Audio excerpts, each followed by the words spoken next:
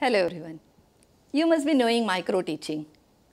Micro teaching is a strategy in which a participant or say B.Ed trainee stands in front of his or her own peers. There are 7-8 other students from the same class and the B.Ed trainee performs one teaching activity. For example, he or she will ask some questions and there will be answers from her own peers. There may be somebody who would pretend to be a naughty student. Somebody would go on answering without raising hands. And in this 5-10 minutes, this B.Ed trainee has to handle the whole class as if it's a real class. Why do you think this is done? It's a kind of net practice. Before entering into the real school where there will be all kinds of learners, she is practicing in front of her own peers. And she also gets various different situations to handle.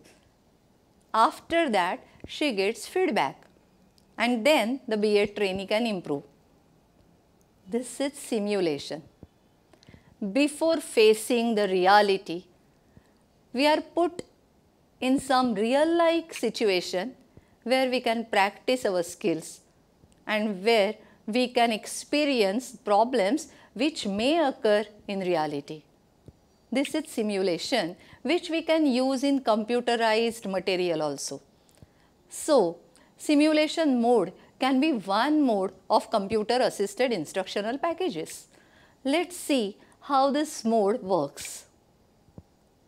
We will see objectives of this session, introduction of simulation mode, relation between theory of constructivism and simulation, relation between cognitive theory and simulation, game versus simulation, what is simulation game, what are characteristics of simulation, components of simulation and types of simulation.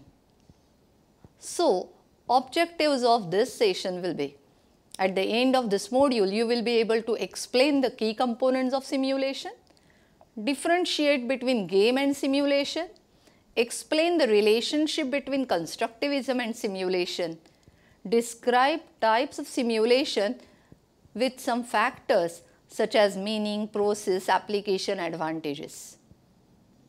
What is simulation? Simulation is representation or model of a real event object or phenomenon. Learners have powers to manipulate these aspects. So, learners can manipulate various aspects of a model or in any situation. Results of decisions are seen immediately. Because the entire environment is learner controlled, learner takes decisions and learners can face consequences. We can say that simulation facilitates constructivist approach in learning. Learning takes place through discovery of certain features and parameters of the situation. Mistakes are forgiven and learning from mistakes is given importance. So here basically the learner takes decisions, learner himself or herself discovers various situations and manipulates various parameters. There are mistakes but those mistakes don't prove to be hazardous as the mistakes can be hazardous in the real situation.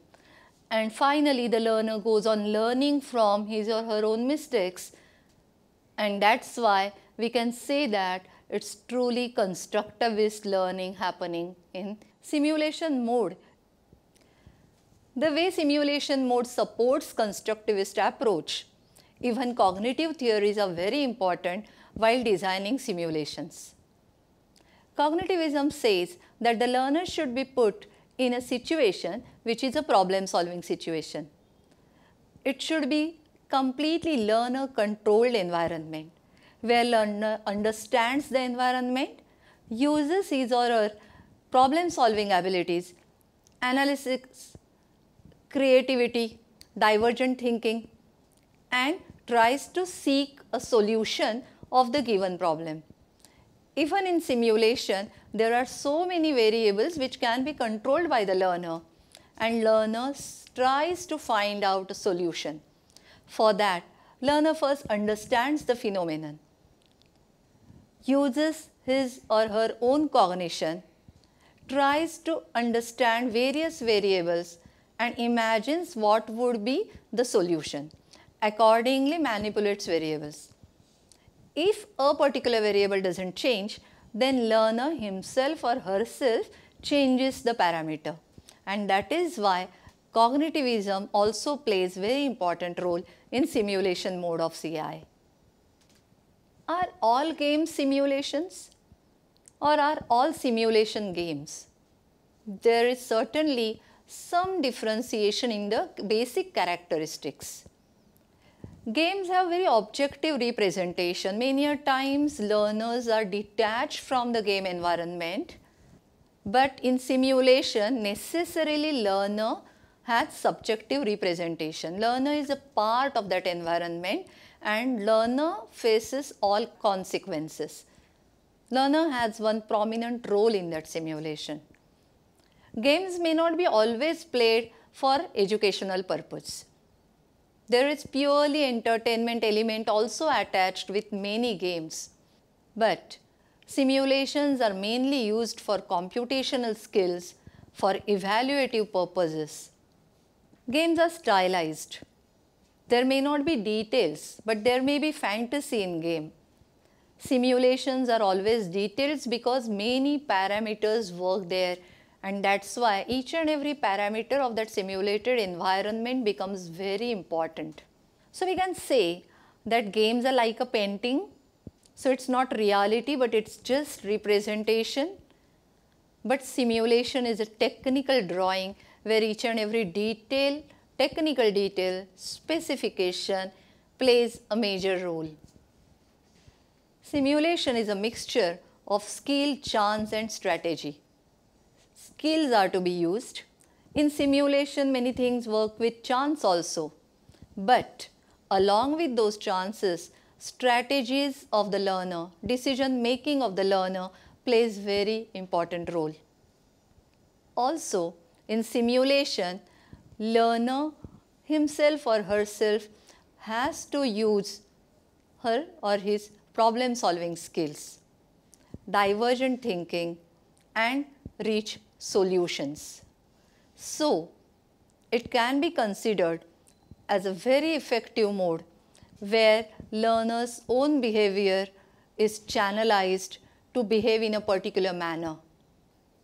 Simulation mode can be extensively used to generate new, innovative and complex behavior in learners. Simulation can be used for some training purposes. For example, salespersonship, how to communicate with customers, what values to show, what kind of behavior to be displayed. All these skills can be developed in participants if they are put in such simulation mode. Thank you.